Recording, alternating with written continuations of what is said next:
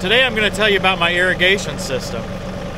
Probably the most fascinating part is that I didn't even intend to have an irrigation system when I started buying the parts. I'll show you all of that and show you about the broader project with the pond. I don't really know where this video is going. Lots of things to do out here today. Let's get started.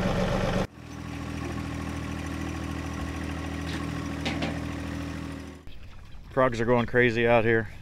Yeah, we've got a bunch of frogs. Now you'll notice the pond is quite low. That's, uh, yeah, that's the primary focus here, to try to get this pond dry. You can see the pump over there. The sun may make it hard to see, but you should be able to see the pump over there and see the suction line into the water. I bought a four inch trash pump, big pump, to empty the pond here. Didn't know how long it would take. Uh, you know, I didn't know even, you know, how deep it would be when I got started.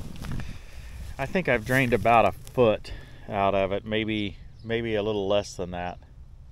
After buying the pump, uh, you know, I planted all this grass seed out here, spent all that money on it, and and just kept watching it die. It just it just wasn't doing well at all, and I said I I have no irrigation. It's not practical to irrigate it, and then finally said, well, maybe I should look into it. You know, maybe maybe there is a a way to irrigate it. I have this fancy trash pump. Maybe I can make that work.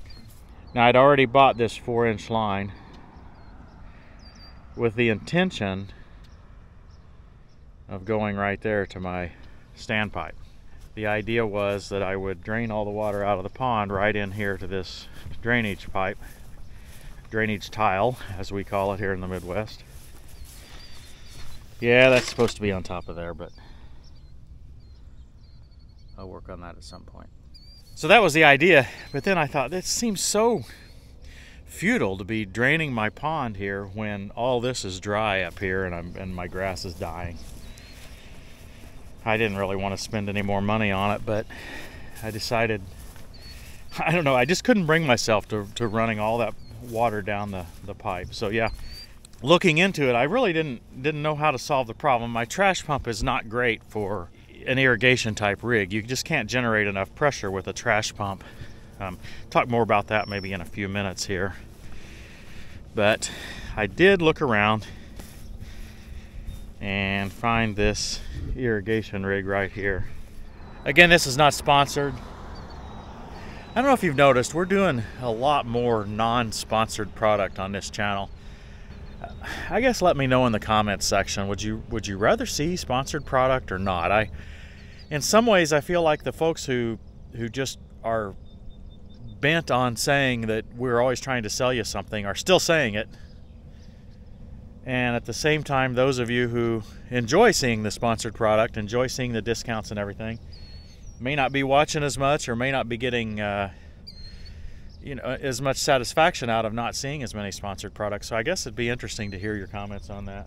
But anyway, this product not sponsored, but it's a big sprinkler 1500H. Quite a rig. I put there there's three separate nozzles come with it. I put the biggest one in. Either 14 or 18 millimeters, I can't remember but I think it's just less than three quarters of an inch.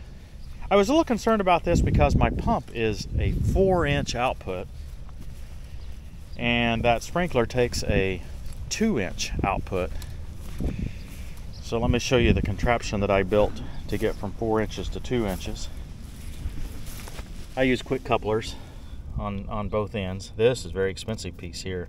It was only available in aluminum from my local pipe store or whatever there from four and then a four to two and then uh, a two inch quick coupler on that end and I bought another 100 foot of two inch pipe had some concern that I just you know I'd be flooding it with too much water uh, damage the pump I don't know whether I'm going to damage that pump or not uh, I know that a trash pump is not capable of generating a lot of pressure I knew nothing about trash pumps a year ago so let's let's just make it clear that I am by no means a water pumping expert.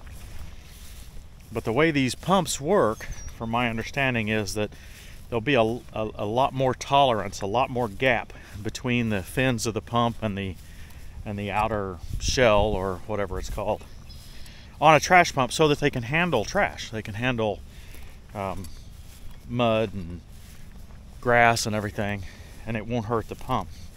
Well, the downside of that is that they won't generate as much pressure. They'll generate a lot of volume at low pressure, so they're meant to pump a lot of water quickly, a lot of trashy water quickly but they're not great at generating pressure. However, for me, it's turned out to work fine. I'll put some gas in it now and fire it up.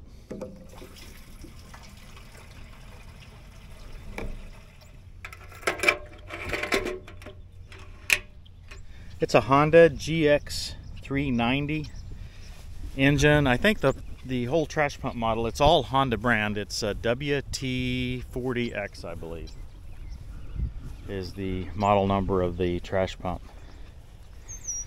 Yeah.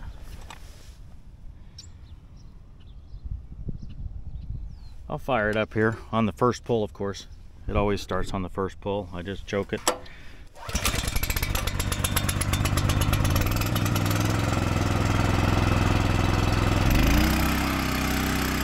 hasn't run all night, so it'll take a little bit probably to prime it.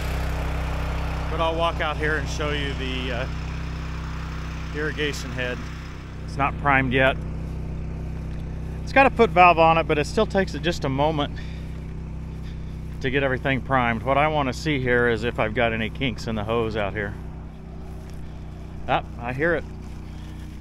I'll have to be careful or I'll get wet, wet, wet. I think it looks really cool from behind.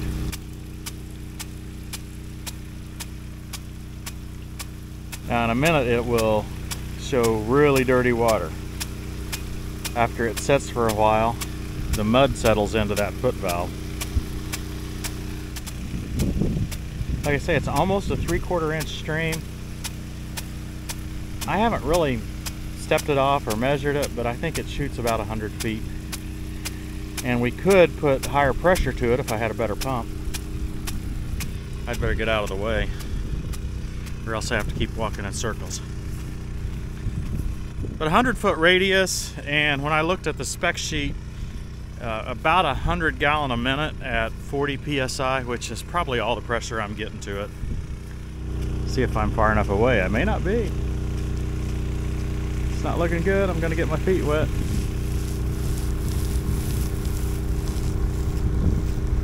The wind really impacts the circle, but uh, yeah, that's just part of it. I just have to try to account for the wind if I'm wanting to get a particular area watered.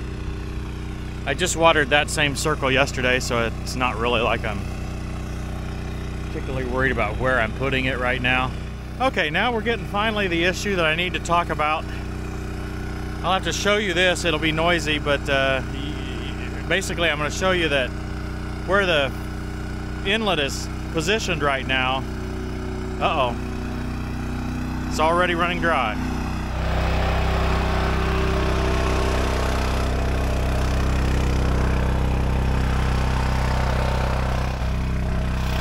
So as you can see and probably hear, I don't have enough water getting there to, to be able to keep feeding it. So because of that, I'm going to take the backhoe over here and try to dig a hole in a deeper spot, move the pump, see if I can get some more of this water drained.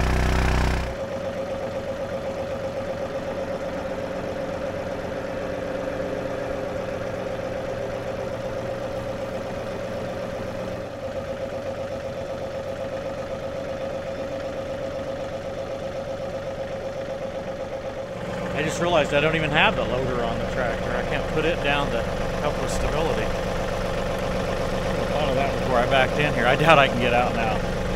But it's actually more solid than I thought. I don't know that my HydrosPlus.com street pads are really uh, necessary today. I don't know if you can see it. The haze is so bad in the air from all those Canada wildfires, I guess. But there's a ledge out there that I want to take off.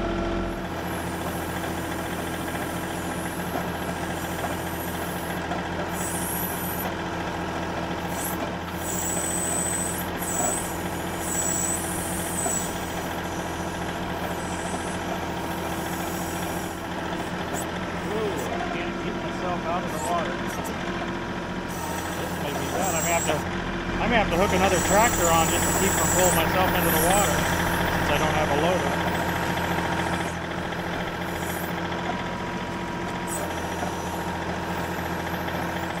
There was a little bit of kind of topsoil uh, sediment on there. It looks like we got down to the yellow clay pretty quickly.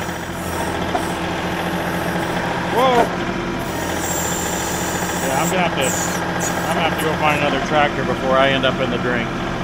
Okay, I got the 4075R, which we still have. Uh, got it attached up there with the Yankum. Probably not the number one use of the Yankum, but hey, it's, it's gonna keep me out of the pond. It gets back started digging now. I think it'll work a lot better.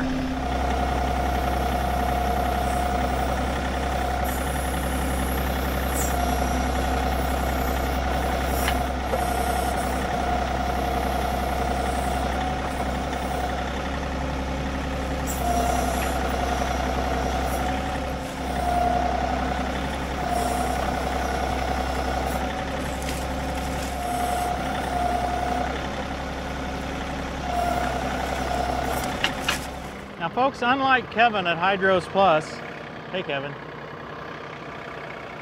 don't be afraid to use low range. Low range gives you a lot more control with your foot pedal, a lot more power. It just uh, makes it a lot easier to do close-up work. My thinking is I can chain this up down here. I just pull it that way. Got frogs jumping everywhere. There's gonna be some unhappy frogs in a little while. Who knows, maybe, maybe within a day or two. Four inch line holds a lot of water. It's way too heavy for me to pick up.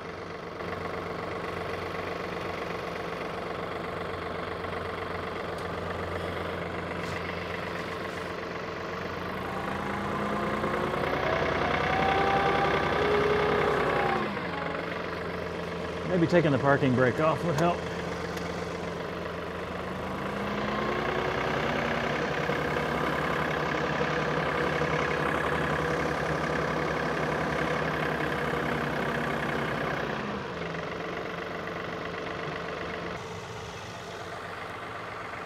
Had a fish in our Oh boy, I didn't even know we had fish. Keep that loader low, Tim. Or not. Moving two tractors out of the way at once.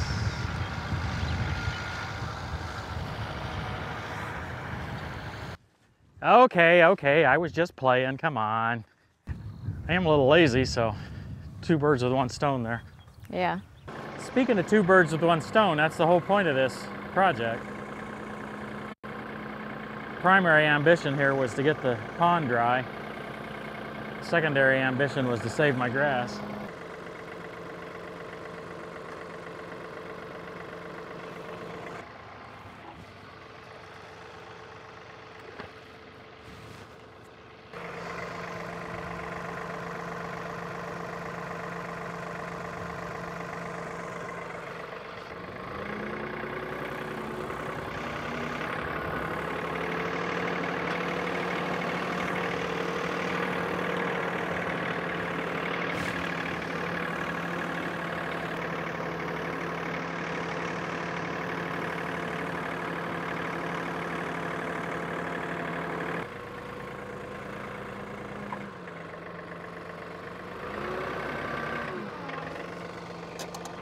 I'm really encouraged actually that it's so dry here. I didn't think it would be dry enough here to get a tractor in. Because that was underwater just a few weeks ago. As I probably should say, my biggest concern is being able to get this pond dry enough to work in. I'm not sure we'll be able to do that.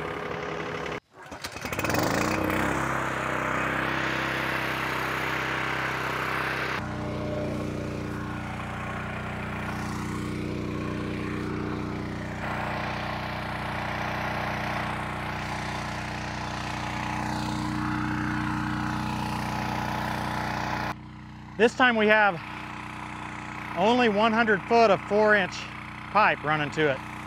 Before we had 150 feet of four inch plus 100 foot of two inch. And I think we can noticeably see the difference. It's really shooting her this time.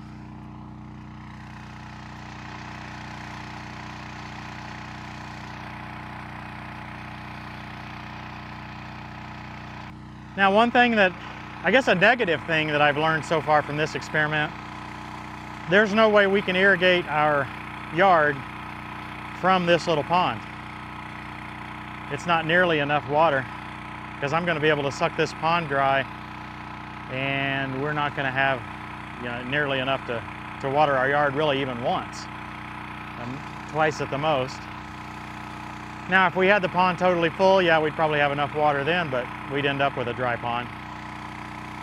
So the only way we could do that is like supplement it by watering from our well into the pond or something, because it's, it's 100 gallons per minute here. It's, it's amazing how much water it takes, how fast. I'm right at the edge, almost gonna get pond water on me. Well, I see one dead frog and two dead fish so far. So the plan of record for our pond is to drain it and try to dig it out some way. We're gonna try to fill in at the ends, both ends, with the dirt that we get out of the middle. And we also need to try to make it so it'll hold water all the way up to the surface. I've been watching Neil with Dig Drive DIY on the pond he's building and uh, it's been quite educational. If you haven't seen that series, go check it out. And I think it helps us to understand what's going on with our pond, why, why, it's, why it drains down to about three, four feet. I suspect we need to put that clay around the outside too. Problem is, I don't know if I have the right equipment and uh, I can't find a mini excavator. Uh, I, I guess I could rent one, but the way I work is a little bit at a time. Renting is just not cost effective for me. So I guess if any TTWT viewer uh, knows of a mini excavator that I could borrow, that would be fabulous. But beyond that, I don't have a dozer. Um, you know, and, and, and you know how it is. I really like to do stuff like this with a compact tractor just to see what we can do. But having watched what Neil did, it's, it, looks, it looks major. We have toyed with the idea of just filling the pond in. With the housing development that now is coming, I guess, next year, it's delayed again there would be plenty of fill dirt that we could just have them fill it in. Very difficult. We think a, a, a well done pond could be beautiful here. We think an ugly pond like this one, well, is ugly. I hope you found this interesting. I was kind of dragged into the irrigation concept a little bit at a time. It's, it's the, the trash pump's not optimal for irrigation, but it works surprisingly well, a lot better than what I read that it would work online. So you've, you've seen it here. Thanks for watching, everybody. We'll see you next time on Tractor Time with Tim. Come and see what God has done, his awesome deeds for mankind. He turned the sea into dry land. They passed through the waters on foot.